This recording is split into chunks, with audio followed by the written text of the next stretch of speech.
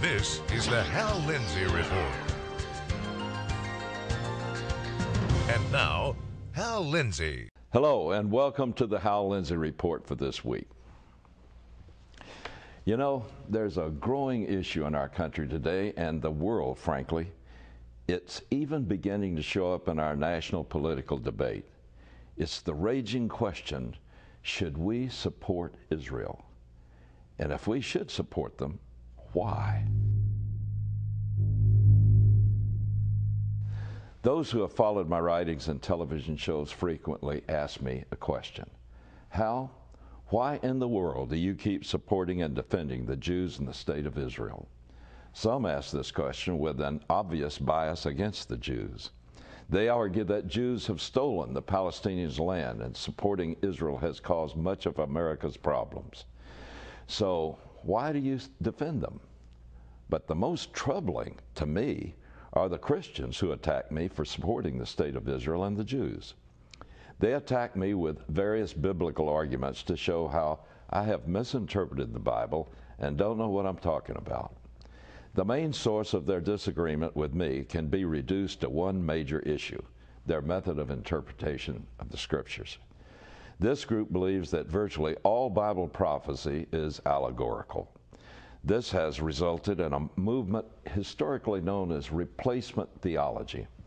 Briefly put, they believe that the covenants of God made with the descendants of Abraham, Isaac, and Jacob were forfeited when they rejected Jesus as the Messiah and forced his execution. In their system, they believe that Israel has no place as a distinct people and nation in God's future prophetic program. They believe the church has replaced the Israelites forever as God's chosen servants to represent him on earth and have inherited the Jews' covenants. This system also teaches that virtually all prophecy in the Bible, such as Daniel, Ezekiel, and the book of Revelation, has already been fulfilled. The inevitable conclusion of this system of belief is that the present state of Israel and the Jewish people are impostors destined for destruction. It results in an anti Semitic attitude toward the Israelites of today. Some even teach that there are no true descendants of Abraham, Isaac, and Jacob in the world today. You know, Hitler would have loved this group. I vehemently denounce this doctrinal system, first and foremost, because if it were true, it would mean that the God of the Bible is a liar. God made certain unconditional promises to the descendants of Abraham, Isaac, and Jacob. Taken at face value by the same method of interpretation that Jesus used when he interpreted the Old Testament prophecies, these covenants are binding forever, despite the failings of the Israelites and the modern Israelis. The scholar Dr. David L. Cooper said about the kind of interpretation they use when the Bible uses an, an, allegory or a figure of speech, it is usually obvious. But when an interpreter arbitrarily takes a passage that is obviously intended to be a literal statement of fact and treats it as allegory, he is twisting the Word of God and knowingly perverting its meaning. Let me show you some of these covenants God made with His people so that you can understand better. First, we're going to take the promises directed to Abraham and his descendants. This applies to the people. Number one, God said to Abraham in Genesis chapter 12, verses 2 and 3, I will make you into a great nation. Two, I will bless you. Three, I will make your name great. Four, and you will be a blessing. Five, I will bless those who bless you. Six, and whoever curses you, I will curse. Seven, and in you all the peoples on earth will be blessed. Now, let's look at this clause by clause. First, God said to Abraham that he would make him a great nation. Now, this inherently contained the promise of a son, since he had to have a son through which the nation could be created is also implicit in this statement that the covenant extends to that nation. And then in the second clause, God said he would bless Abraham personally. This was fulfilled. Listen, Abraham was protected through many perilous things in his times. He was blessed with vibrant health into old age. And everything he did, God prospered, even though many times he didn't deserve it. Now, the third clause Abraham's name would be honored. Well, he has been honored over the whole world for over 4,000 years. And he's honored by being a part and being a foundational part of three of the world's largest religions Judaism, Christianity, and Islam. And the fourth clause Abraham has been the source of blessing for untold hundreds of millions. So when God said he would be a blessing, he certainly was. And fifth clause as God's representative on earth, God knew the Jews would be objects of special attack. So God provided promises to bless those who would bless Israel. And then in the sixth clause, God promises that he will curse those who curse Israel. This part of the covenant was designed overall to protect Israel, and these are things that we as a nation need to carefully look at and be serious with. It becomes a real contest in our world today when you see it as I see it between what the Bible teaches, what people just think on their own, or what false religions teach. Now, in the seventh clause, God gives the true ultimate purpose of why He created this nation. He said, In your seed I will bless all the families of the earth. Ultimately, this was the whole purpose of God creating the nation of Israel.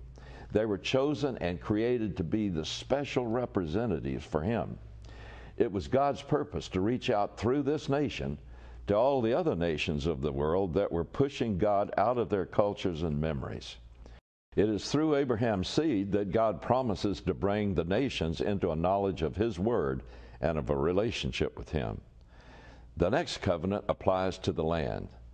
This covers the land covenant. You know, these promises give the Jews a title deed to a specific piece of property. And it also gives Abraham and his descendants the only title deed that is unconditional and forever. Think about this. Of all the people on earth, only Israel, the Israelites, the descendants of Abraham, Isaac, and Jacob, have a title deed to the land given to them by the Creator.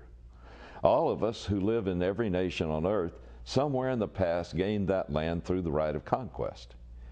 Here are the many passages that spell out God's covenants concerning the land for his chosen people. First, the Lord said to Abram, after Lot had parted from him, Lift up your eyes from where you are and look north and south and east and west. All the land that you see, I will give to you and your offspring forever. Now, that's the promise of the land and how long their ownership of it would last forever. The next statement in Genesis gives the boundaries of this title deed. In Genesis chapter 15, verses 18 through 21, God says, On that day the Lord made a covenant with Abram and said, To your descendants I give this land from the river of Egypt to the great river, the Euphrates the land of the Kenites, the Kenizzites, the Cadmonites, the Hittites, the Perizzites, Rephaites, Amorites, Canaanites, Girgashites, and Jebusites. Note especially here the Jebusites. They were a race of giants that were the first known owners of Jerusalem. Now, the exact dimensions of this land grant were literally spelled out. They've never come to possess all of it yet, but God said they will ultimately inherit it forever. We've seen the original covenants that were made to Abraham. Now I want to show you how many times and over how many centuries these same covenants were reaffirmed to the people who were his descendants. First, let's look again in Genesis where God reaffirms this to Isaac. But God said to Abraham, Do not be distressed because of the lad and your maid Whatever your wife Sarah tells you, listen to her, for through Isaac your descendants shall be named. In the covenant God reaffirms in this passage, Abraham was commanded to reject Ishmael, who was his illegitimate firstborn. This was because God had told him that the covenant would pass through a son born of his own wife, Sarah. And so God affirms that it is through Isaac that these covenants were going to be fulfilled. Later, the promises are reaffirmed to Isaac's son, Jacob. Note that both the covenant and the people of Israel and the title deed to the land are again promised to his descendants in this statement. Now, in Genesis chapter 26, verses 2 and 4, it says, The Lord appeared to him and said, Do not go down to Egypt, stay in the land of which I shall tell you. Sojourn in this land, and I will be with you and bless you. For to you and to your descendants I will give all this lands and I will establish the oath which I swore to your father Abraham. I will multiply your descendants as the stars of heaven, and will give your descendants all these lands, and by your descendants all the nations of the earth shall be blessed. Notice that God put together all the promises to the people of Abraham with the promise of the blessing he would be to all the earth. These covenants were reaffirmed in history and in the Bible several times. First, let's go to a reaffirmation of these great covenants a thousand years later through King David. In Psalm 105, verses 8 through 12, he said, He has remembered his covenant forever, the word which he commanded to a thousand generations, the covenant which he made with Abraham, and his oath to Isaac. Then he confirmed it to Jacob for a statute, to Israel as an everlasting covenant saying, To you I will give you the land of Canaan as the portion of your inheritance. When there were only a few men in number, very few, and strangers in it. Now there's another reaffirmation made despite the many failures and disciplines of Israel over 1400 years after Abraham. Jeremiah chapter 31, verses 35 through 37 says, This is what the Lord says he who appoints the sun to shine by day, he who decrees the moon and the stars to shine by night, who stirs up the sea so that its waves roar. The Lord Almighty is his name. Only if these decrees vanish from my sight, declares the Lord, will the descendants of Israel ever cease to be a nation before me. This is what the Lord says Only if the heavens above can be measured, and the foundations of the earth below be searched out, will I reject all the descendants of Israel because of all the things they have done, declares the Lord. Now let's stop for a moment and think about this. He says, they will never cease from being a nation before him. And it's the descendants of Abraham, Isaac, and Jacob he's saying this to. And then he says, that this will be true despite the things that they would do. In other words, the failures they would commit. Now let's go to another reaffirmation that's in Ezekiel, which is again in the general time of about 1400 years after Abraham. In Ezekiel chapters 36, verses 22 through 28, as God predicts what he's going to do in the last days, just before the Messiah comes to set up the kingdom on earth that he promised Israel. He says, Therefore say to the house of Israel, Thus says the Lord God, It is not for your sake, O house of Israel, that I'm about to act, but for my holy name, which you have profaned among the nations where you went. I will vindicate the holiness of my great name, which has been profaned among the nations, which you have profaned in their midst. Then the nations will know that I am the Lord declares the Lord God, when I prove myself holy among you in their sight. For I will take you from among the nations, gather you from all the lands, and bring you into your own land. Then I will sprinkle clean water on you, and you will be clean. I will cleanse you from all your filthiness and from all your idols. Moreover, I will give you a new heart and put a new spirit within you. I will remove the heart of stone from your flesh and give you a heart of flesh. I will put my spirit within you and cause you to walk in my statutes, and you will be careful to observe my ordinances. You will live in the land that I gave to your forefathers, so you will be my people, and I will be your God. Now I want you to note something carefully here. The prophet says this will only happen after Israel had been scattered throughout the world and profaned God's name through every nation. And it talks about bringing them back in the end time. It's at the time when God brings the Messiah to reaffirm and to establish the new covenant with them. And when He takes away their sins and He puts the Holy Spirit within them. Now, that can't be in the past, it has to be in our immediate future. I'll be back in just a moment. You know, one of the groups that I'm really coming against is today called the preterist. They're the ones who push replacement theology today. The preterists claim that a prophecy I'm about to show you predicts the end of Israel as a nation and a distinct people. They say it means that Israel's covenants were permanently taken away and given to the church in AD 70. But they ignore two vital points that are in this key prophecy made by the Lord Jesus himself. The word until and the phrase the times of the Gentiles be fulfilled.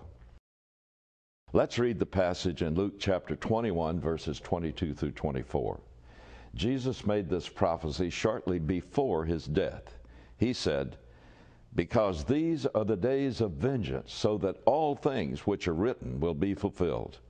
Woe to those who are pregnant and to those who are nursing babies in those days.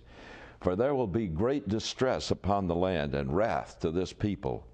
And they, the Israelites, will fall by the edge of the sword and will be led captive into all the nations. And Jerusalem will be trampled underfoot by the Gentiles until, now that's a key word, until, akris in Greek, the times of the Gentiles are fulfilled. Now they overlook the key word here, until, a conjunction. You see, this prophecy is talking about the destruction of Israel in AD 70 and their scattering throughout the world. And Jerusalem would continue to be trampled down by the Gentiles. But there's a time limit given here. Consider the fact that the word until is crucial. now, just to put it in Texanese, for I'm a Texan, let's make it as simple as possible. The conjunction until means certain things that were going on during the past are coming to an end, and then something new is going to start. Now, what has been going on in this prophecy? The people of Israel were going to be scattered throughout every nation. They were going to fall by the edge of the sword, and Jerusalem would continually be trampled underfoot by the Gentiles. But then comes the conjunction until. It means there's something different going to happen after this. You see, Jesus shows there's still a plan for these people. In Matthew 25, beginning with verse 31, Jesus, in another prophecy, clearly shows that there's going to be a segregation when he comes back at the second advent. When he comes to the earth, the first thing he's going to do is gather all the surviving Gentiles apart from Israel. Jesus will separate the surviving Gentile believers as sheep from the goats. They go to his right hand. The goats are the unbelievers. They go on his left. It means that they are no longer his representatives in the world as they had been in the church age. During the church age, there is no distinction between Jew and Gentile, according to the book of Ephesians, especially. But from the tribulation onward, there's a segregation. Ezekiel chapter 20 shows that the Israelites are going to be judged in an entirely different place at the second advent of Christ, out by Mount Sinai. And there, the believers among them are going to be separated from the unbelievers. So Jesus shows there is a future for the Israelites, and the covenants are still binding to them even after this terrible judgment. Now, let's go to what I call hope in the olive tree. There are some tremendous lessons we can learn from Romans chapters 9, 10, and 11. The Apostle Paul wrote those chapters to silence the people within the church who, even at that time, were becoming anti Semitic. In chapter 9, he shows that Israel in the past was elected. Chapter 10 shows Israel in the present is rejected. But chapter 11 shows Israel in the future accepted. Romans 11, verse 22 says, Consider therefore the kindness and sternness of God, sternness to those who fell, but kindness to you, provided that you continue in this kindness. Otherwise, you, now this is speaking generally of the Gentiles as contrasted with the Israelites as a group, you will also be cut off. And if they, the Israelites, do not persist in unbelief, they'll be grafted in, for God is able to graft them in again. After all, if you Gentiles were cut out of an olive tree that is wild by nature, and contrary to nature were grafted into a cultivated olive tree, how much more readily will these, the Israelites, the natural branches, be grafted into their own olive tree? Now let's stop for a moment and think about that. What does the olive tree symbolize? This is obviously an allegory. The olive tree symbolizes the promises and covenants of the eternal relationship with God that was first vouchsafed and given to Abraham, Isaac, and Jacob and passed on to their descendants. So they are the cultivated olive tree that possesses these things. Now, as discipline, some of the branches were cut out. And Israel is under a partial judicial blinding right now. In part, that is. But the point is, there's still this covenant. Now let's go on to the rest of this quote from Romans 11. Paul says, I do not want you to be ignorant of this mystery, brothers, so that you may not be conceited. Israel has experienced a hardening in part until, now there's that word again, the conjunction until. In other words, they're in a partial hardening until what? Until the full number of the Gentiles has come in. You see, this is referring back to the exact thing that Jesus referred to in Luke 21, verse 24. The times of the Gentiles are completed when the full number of the Gentiles that are to be saved and brought into God's eternal family has come in. And then it says, and so all Israel will be saved. That is, after this, after the times of the Gentiles is finished, as it is written, the deliverer will come from Zion. He will turn godlessness away from Jacob. And this is my covenant with them when I take away their sins. As far as the gospel is concerned, they are enemies on your account. But as far as election is concerned, they are loved on account of the patriarchs, for God's gift and his call are irrevocable. Now let's summarize. The main issue of this context is that Israel is under a judicial blindness in part and removed from its place of calling as God's representatives on earth. The time of the Gentiles refers to the fact that a Gentile dominated church is currently God's representative on earth. But this is only until the full number of Gentiles are saved and the times of the Gentiles come to a close. Then God is going to graft the Israelites back into the covenants given their forefathers, and they, as a remnant, will believe and inherit all the promises. Now, in the light of this, let's ask again the question why should we support Israel? It becomes an issue of whether you're going to believe the God of the Bible or we're going to believe man made theories. It's almost a contest in much of the world today between the God of the Bible and the Allah of the Quran. God is going to have his way, and the promise he made about putting a curse on those who curse Israel. Putting a curse on them means uh, that we bring harm to them, that we don't help them or bless them. Those conditions apply to our country right now. The United States of America is progressively turning against Israel. Our leaders care nothing about the fact that God said Israel is the only land and the only people who have a title deed to the land they possess. And it's spelled out. We're making them give it up piece by piece until they have no defensible position against relentless enemies that outnumber them 40 to 1. God is not going to let that happen.